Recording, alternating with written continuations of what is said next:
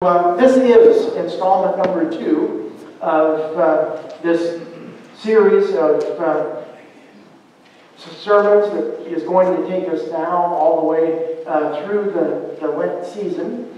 And uh, we're looking at this thing that we call the love of God or God's love or the idea that God is love.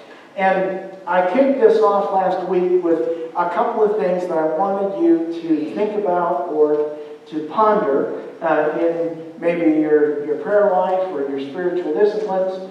But I pointed out or I suggested to you that out of our human experience of love, we sometimes take that human experience of love and we project that humanness onto God.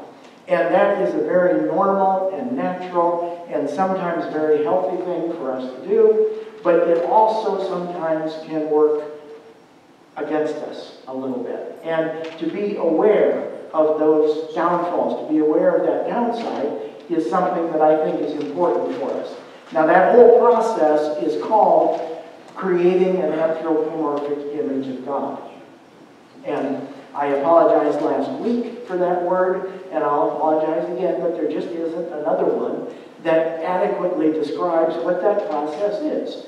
And so to project our humanness onto God or project our humanness uh, onto the divine is creating what is called an anthropomorphic image of God.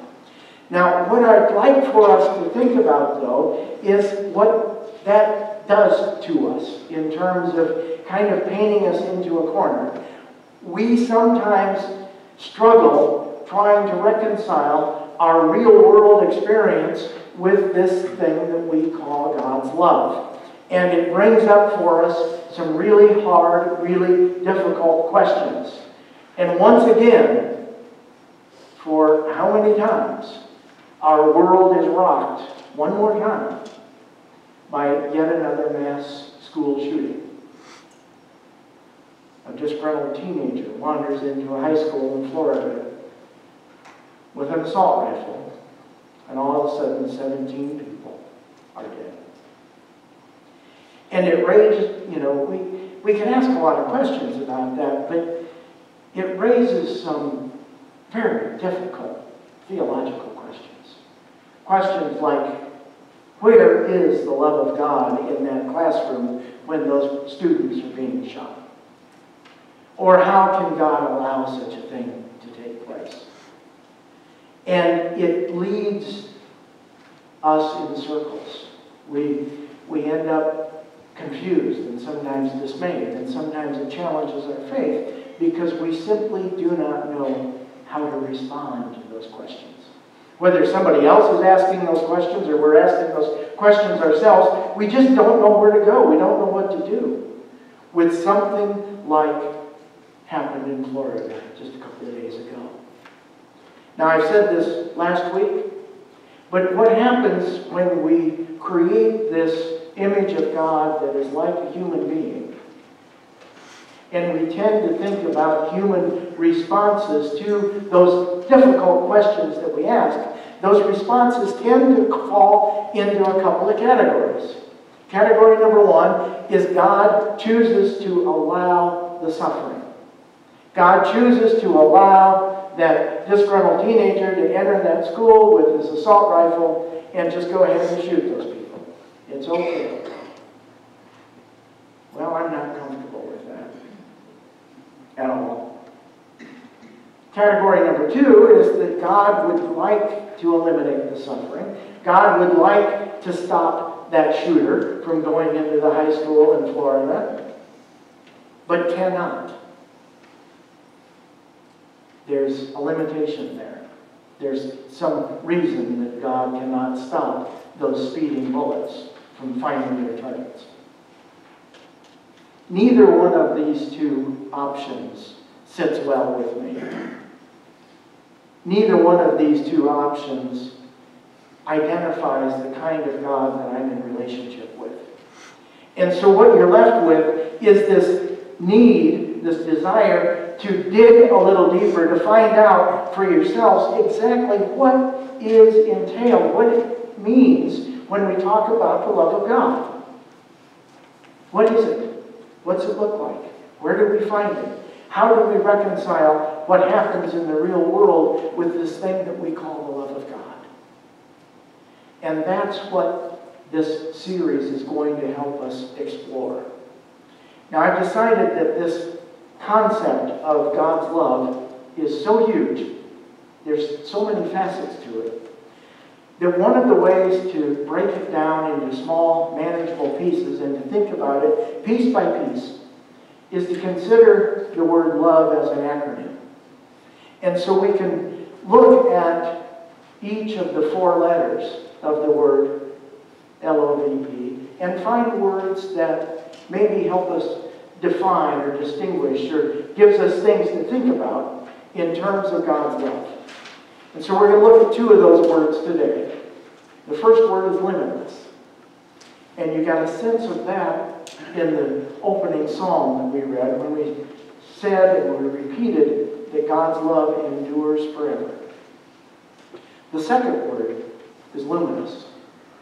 So I want to consider this idea of God's love being limitless first. Now, one of the things that I really like to do when I, I decide that I'm going to take some time, I'm going to go out and I'm going to shoot some pictures.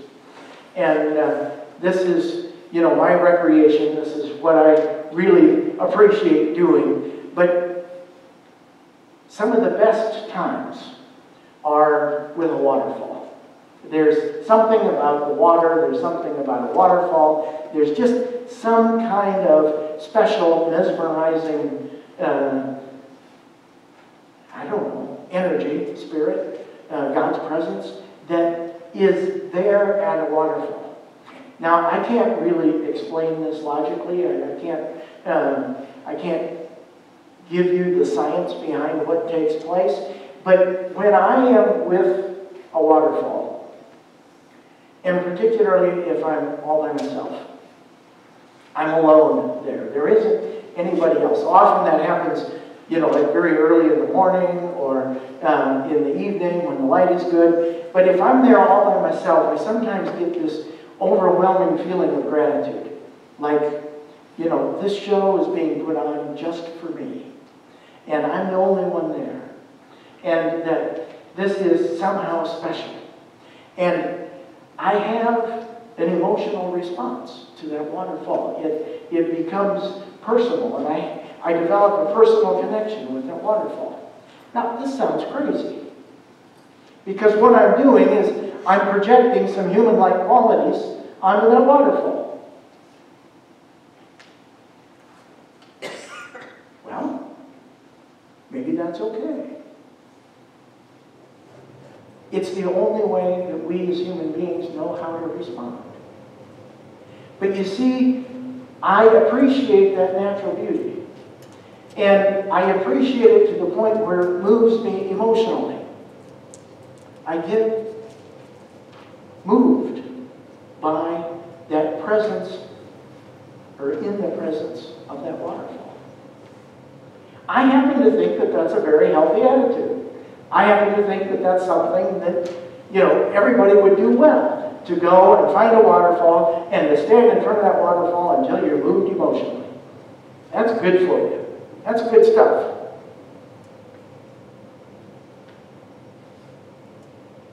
But there is a downside to that. I have that emotional response to the waterfall. That much is clear. And we do the same thing with God. There is this thing that Christians identify as the Holy Spirit. And sometimes, particularly if you're with a group of people, and the, the preaching has been, you know, remarkably good, and there's some hymn that is your favorite hymn, and all of a sudden, you just have this emotional response. And you're moved emotionally at, at the moment and you feel God's presence in an emotional way. And it's only natural and healthy, and that is a good experience. But then we take that same emotion and we project it onto God. Because we had an emotional response, we also think that God is also emotional. because we had an emotional response that is based in our humanness, we also think that God is human. So I want to get back to the waterfall for just a minute. I have that. I have an emotional response to that waterfall. When I'm there, present with the waterfall, taking pictures and, and being involved in that natural beauty and all of that. But what would happen if I got a little bit carried away and I started to think that, well, this waterfall isn't just human, it's superhuman, and it has powers. It has superpowers. And the waterfall can decide whether or not it's going to flow. The waterfall can decide if it's going to splash and get this rock wet and leave this rock dry. The waterfall begins to take on these human-like qualities. And then just for argument's sake, let's say that somewhere upstream, tragically a, a toddler wanders into the river and gets caught up in the current and is swept over the edge of that waterfall and eventually drowns. Would anybody ever blame the waterfall for that? Would ever anybody ever say, how could the waterfall allow that to happen? Can you imagine us posing those two questions that I mentioned earlier? Or those two answers, rather, that the waterfall chose to allow that toddler to be swept away and to drown. Or the waterfall would wanted to stop that drowning from taking place, but was powerless to do so. Would anybody in their right mind ever do such a thing? Of course not. A waterfall has no consciousness. The waterfall has no perception of good or bad. The waterfall has no emotion. And yet we do it to God all the time. All the time.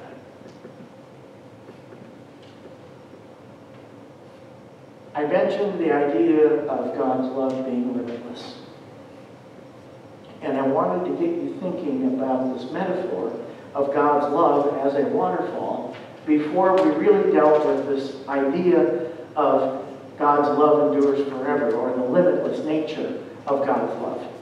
Because as I said earlier, sometimes when I'm there with a waterfall, I feel like this, you know, this drama is playing out just for me. You know, if I'm there by myself, it's like, this is just unbelievable.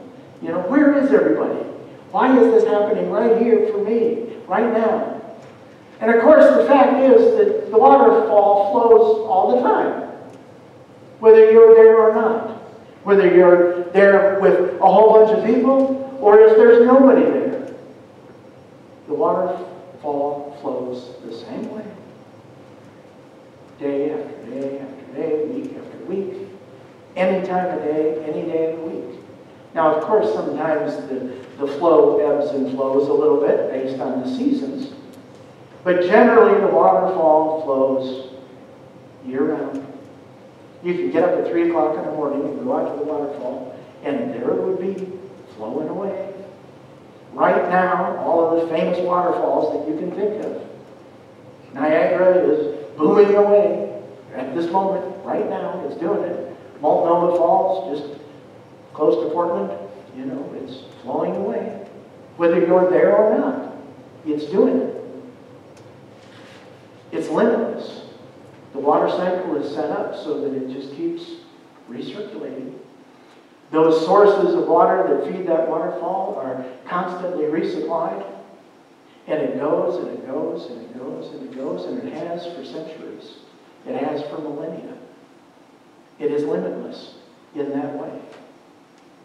It's also available. You can go see a waterfall anytime you want. You can go find one. You can be with it. You can have that personal connection with it. And in those ways, a waterfall is a great metaphor for the love of God because it is limitless, it's available, it's there, and it's constant. It's always there. But I mentioned another word that also begins with L, and that is luminous. Now, if we were to define luminous, I think most of us would say that it has something to do with light, or if something is luminous, it glows perhaps, or it gives off light. My interpretation of this idea, this luminous being a word that is associated with the love of God, is not in a literal sense, okay? Talking about the metaphorical implications of what it means to be luminous. But what this represents is also enlightenment or luminosity from a certain perspective. Now, I want you to think about this.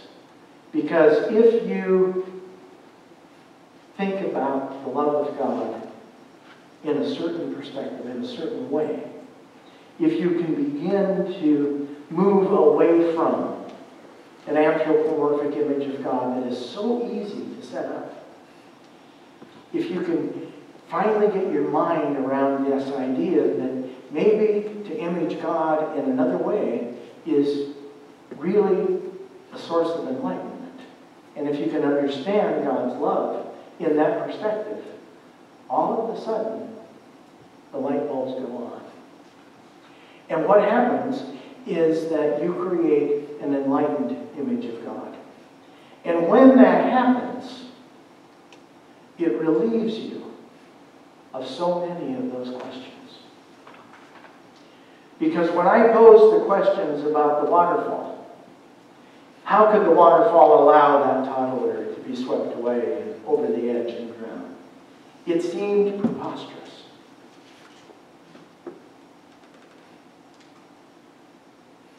It seemed preposterous. And when we do that with the love of God, it's equally as preposterous. It's just that we don't see it that way. And so what I'm suggesting is that we need to have this enlightenment. We need to have the luminosity of God's love help us to establish this spiritual foundation, this, this building up of an image of God that helps us to answer some of life's most difficult questions. Now, there is a definite relationship between what we think, what we believe to be true, and what our actual experience is. There's, there is a, an undeniable relationship between those two things. Henry Ford is famous for having said things like, whether you believe that you can or you believe that you can't, you're right. You remember that? You know, Henry Ford said that? Now, in a little more modern context, one of, one of my favorite authors is Dr. Wayne Dyer, the, the now late Dr. Wayne Dyer. But he had a favorite saying and he used to say that if you change the way you look at things, the things you look at change. Now, I, that is absolutely true. That is an absolutely true statement. If you change the way you look at things, the things you look at change. In other words, if you believe one thing over here and you change that belief, your physical experience will be different than it once was. What you believe to be true alters your reality. And if you change the way you look at God's love, your experience of God's love will also change. So I invite you to think about this idea that the love of God is perhaps more like a waterfall, waterfall than it is like a parent. When you hear the word Heavenly Father, what would happen if you just substituted Heavenly Waterfall?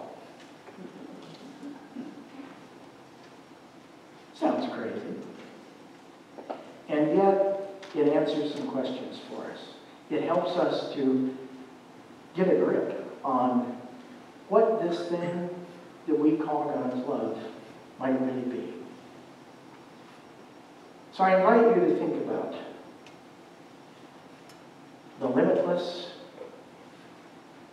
impact of God's love, the limitless presence of a waterfall, the luminous impact of God's love, and how that enlightenment can enrich our lives, and how that metaphor of a waterfall enlightens our thinking around God's love.